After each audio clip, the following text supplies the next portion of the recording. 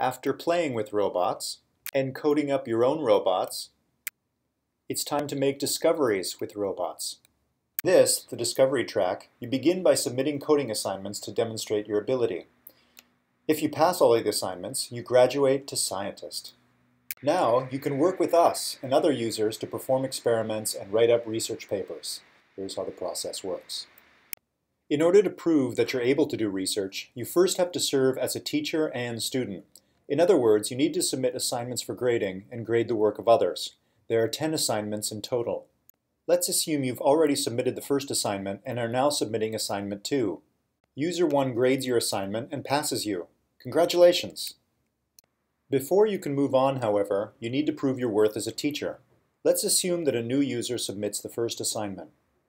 You've already completed the first assignment, so you are asked to grade it. You give user 2 a passing grade.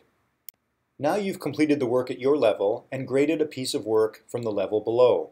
You level up. After leveling up 10 times, you graduate to scientist.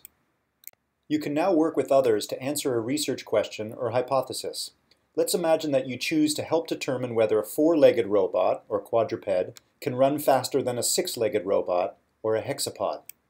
You and user 1 write code to simulate two different kinds of quadruped, while user 2 writes code to simulate a hexapod. The three of you now simulate the robots you've created and compare their speeds. It looks like the hexapod is faster. Together, you write up your findings and submit them for publication. Thanks for joining us. We look forward to conducting research with you right here on Ludobots.